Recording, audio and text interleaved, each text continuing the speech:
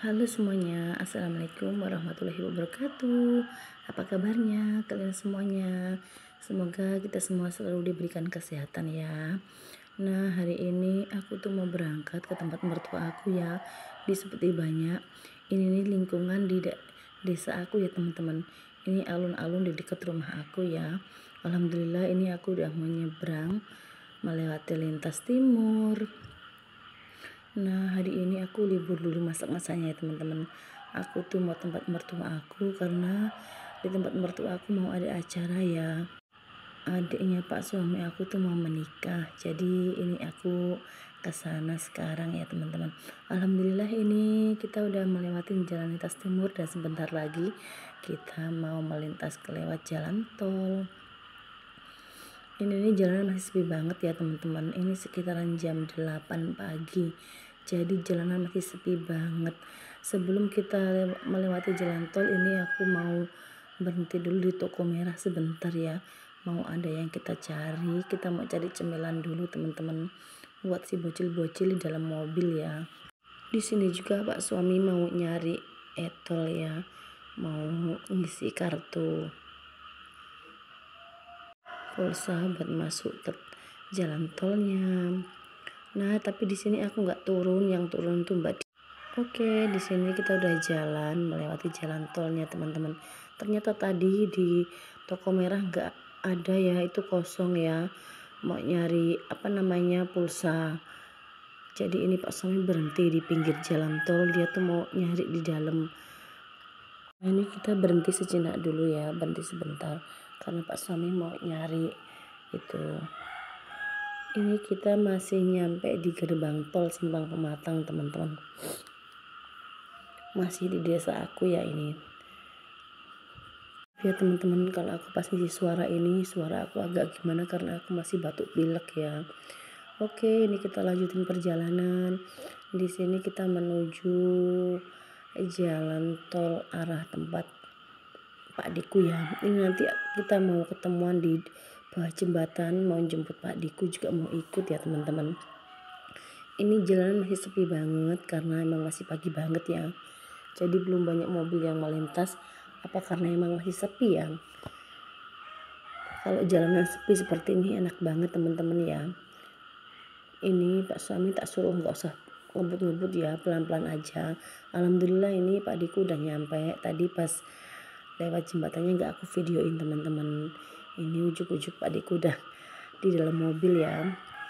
Kita memulai perjalanan menuju ke Seputi Banyak. Bismillahirrahmanirrahim. Semoga selamat sampai tujuan. Amin. Nah ini tuh kita sudah melewati jalan pintas mau menuju ke unit. Kita lewat jalan unit. Unit 6 apa unit berapa ya teman-teman? Kita nerobos kita nggak lanjutin lewat tolnya ya. Karena kalau kita lanjutin lewat tolnya itu nanti mau menuju ke seperti banyaknya tuh jauh banget kata pak suami. Jadi ini kita lewat melintas lewat itu ya unit 6 lambung kibang apa gimana gitu ya kita berhentinya itu. Nanti kita lewat situ. Tapi jalannya juga udah bagus banget teman-teman. Nah ini kita udah di tol lambung kibang ya kita udah mau keluar dari tol ini teman-teman. Hari ini cuacanya tuh cerah sekali teman-teman. Dan kita tuh juga bahagia sekali karena kita mau ketemu saudara kita yang disebuti banyak. Jadi hari ini tuh cuacanya mewakili hari-hari kita semua termasuk aku ya teman-teman. Alhamdulillah akhirnya kita mau ketemu lagi. Saudara kita disebut banyak dan itu Pak di aku ini kita. Ngelewatin tol di masih sekitaran di daerah aku tuh. Lihat itu pinggirannya itu sekarat ya teman-teman. Nah ini alhamdulillah kita udah keluar dari tol ya. Ini kita melewatin jalan tengah yang di unit unit berapa ya ini? Nggak tahu lah unit berapa. Yang penting ini tuh kita udah keluar dari tol ya teman-teman. Kita melintas lewat sini. Ini jalannya juga bagus teman-teman udah seperti tol jalannya teman-teman. Nah itu liatin bisa kalian lihat di pinggir-pinggirannya itu ya. Karet seperti itulah ya. Rumahnya juga sudah pada padat teman-teman di sini. Nggak tahunya rumahnya juga sudah pada padat banyak sekali. Tuh tanaman singkong-singkongnya bagus sekali teman-teman. Pagi-pagi ngeliat yang hijau-hijau seperti ini seger banget ya. Ini kita sebentar lagi sudah mau lewat menggala ya teman-teman mau belok ke arah apa itu namanya tebuan ke arah tebuan ya teman-teman sebentar lagi. Ini videonya aku cepetin aja karena perjalanannya itu jauh banget teman-teman. Ke Mesuji nyampe seperti banyak tempat. Mertua aku itu sekitaran tiga jam adalah ya. Tiap di kanan kiri kulihat banyak pohon singkong. Tuh pohon singkongnya bagus-bagus sekali teman-teman Masya Allah pasti mereka nanti mau panen raya ini singkongnya ya. Nah ini kita sudah melewati cakat ya teman-teman. Itu di samping sana tuh ada ibu-ibu jualan ikan teman-teman. Masya Allah itu tuh banyak banget ikannya ya.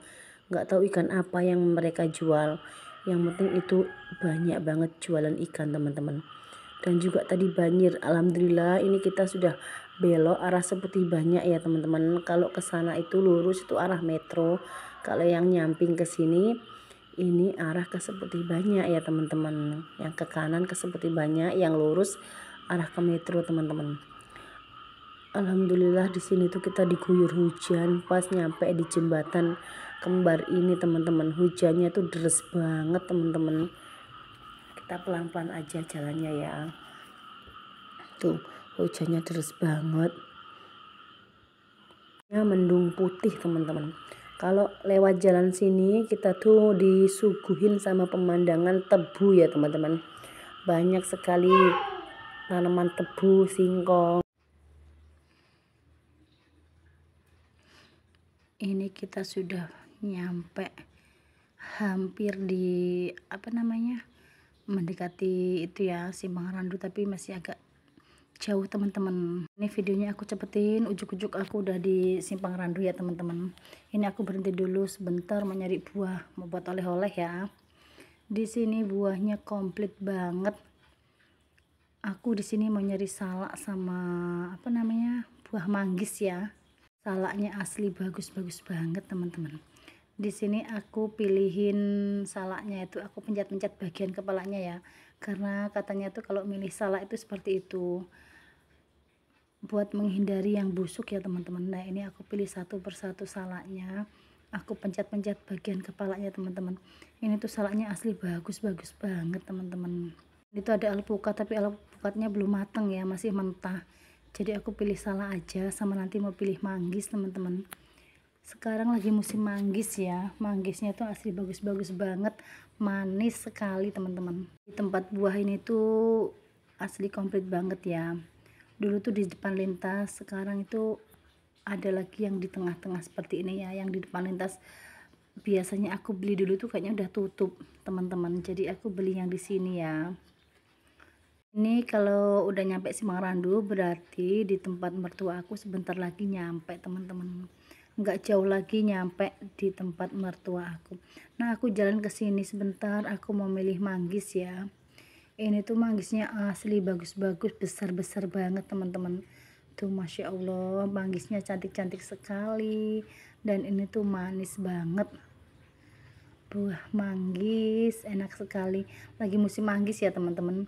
Duku juga udah mulai musim tapi aku lebih milih manggis buah manggis di tempat kalian berapa teman-teman satu kilonya ini di sini 13.000 ya teman-teman satu kilonya buah manggisnya tuh masya Allah asli besar-besar bagus-bagus sekali teman-teman sambil aku milih-milih sini aku tengok-tengok ternyata di sini komplit banget teman-teman jualannya Oke, beli buahnya udah selesai. Di sini aku lanjutin perjalanan ya. Ini kita sudah memasuki daerah seputih banyak ya. Ini jalannya sudah mulai gelegak-gelegik, gerinjal-gerinjil teman-teman. Di sekeliling kita lihat pohon apa namanya singkong sama jagung ya teman-teman. Di sini tuh pertanian teman-teman. Jadi masya Allah lihatnya tuh hijau-hijau seger banget ya. Ini kita lewat tengah ya karena tadi tuh berhenti dulu simpang randu jadi kita nggak bisa lewat jalan di depan kita lewat jalan yang tengah. Nih masya Allah tanaman singkongnya bagus-bagus sekali ya. Subur-subur sekali teman-teman tuh aku tunjukin ya. Ya Allah indahnya. Ini nih mungkin saking suburnya ya. Subur banget. Nah ini aku juga liatin ibu-ibu lagi itu nanam padi ya. Itu mau nanam apa gimana lah nggak tahu. Yang penting itu aku video ini ibu-ibu lagi di tengah-tengah sawah pak. Di tengah-tengah sawah ya teman-teman. Ini dilanjut. Kita udah nyampe jalan pabrik teman-teman ini aku lewat jalan pabrik sini ya. Ini tuh SB8 apa kalau nggak salah Masya Allah jalannya itu asli. Lagi didandanin ya teman-teman. Ini tuh becek banget jalanannya. Gelegak gelegik teman-teman. Kita pelan-pelan aja lewat sininya ya karena jalannya sempit banget. Nah ini tuh kita ngelewatin pabrik singkong teman-teman. Dari sini sudah nggak jauh lagi ya rumahnya mama mertua aku ini kita nanjak ke atas teman-teman. Jalannya licin. Ini mungkin semalam habis hujan ya. Makanya jalannya tuh udah tanahnya merah jalannya lengket teman-teman. Oke dilanjut. Sini kita nanjak-nanjak ke atas ya teman-teman. Naik-naik ke puncak gunung tinggi-tinggi sekali. Alhamdulillah kita udah sampai ya teman-teman. Ini kita udah nyampe tempat mertua aku. Dan ini kita lagi salam-salaman ya. Itu ada Om Irfan sama Buli Pipit ini kita cepetin aja tadi videonya ya teman-teman. Ini juga kita lagi salam-salaman sama calon mantennya ya Om Anton. Dia nggak mau di videoin mukanya karena malu teman-teman. Oke lanjut. Di sini kita berbincang-bincang bercerita-cerita ya teman-teman. Itu kakak Alga maaf gak pakai baju ya. Tadi tuh dilepas karena keringetan teman-teman. Di sini kita lagi makan-makan ya. Oke ini sorenya. Aku lanjut videonya. Aku bantuin emak-emak bude-budeku ya ini tuh mau bikin bontrot buat besok kita berangkat ke Indramayu ya teman-teman. Kita bikin bontrot teman-teman buat makan buat sarapan pagi ya sama nanti makan siangnya di kapal teman-teman. Nanti di sini kita semua mau masak ungkep ayam kampung sama goreng ayam potong sama nyambel terasi gitu aja teman-teman bontotnya nyari yang simple-simple aja ya di sini kita mau ungkep ati ampela dulu buat makan kita sore ini ya. Ini tuh aku yang videoin teman-teman. Tadi aku juga udah bantuin ngungkep-ngungkep ayamnya alias betetin ayamnya ya. Ayam kampungnya udah selesai kita betetin. Nah ini udah diungkep di atas wajan. Tuh di sini tuh. Aduh ini tuh tadi ayamnya 5 ekor ayam besar-besar jago-jago teman-teman. Tuh Masya Allah mantap banget ini ayam ungkepnya. Ayam ungkep bumbu emak-emak. Emak-emak disebut di banyak ya teman-teman. Ini tuh videonya aku ambil sekitaran jam 5 sore teman-teman. Oke di sini lanjut masak ati ampelannya ada ususnya juga teman-teman. Nah ini aku yang videoin ya. Tuh Masya Allah ini tuh dimasak pedes. Nah ini Mbak Lia yang masak. Dia tuh malu-malu teman-teman. Ini masakan ala dia